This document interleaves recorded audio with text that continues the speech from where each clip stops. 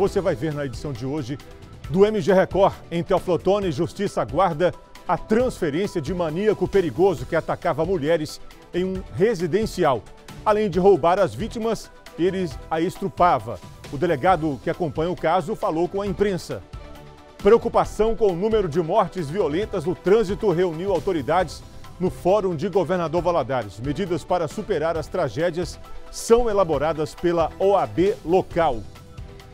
Um crime deixou o povo da cidade de Pocrane assustado. Um homem foi baleado e morto e os suspeitos na fuga trocaram tiros com a polícia.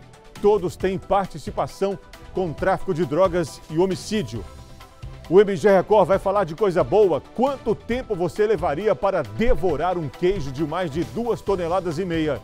É o novo recorde da cidade de Ipanema. Com esse queijão, quem inveja só de olhar. Imagina Imagina o sabor dessa delícia. Agora, no MG Record pela TV aberta e no Facebook da TV Leste, facebook.com barra TV Leste.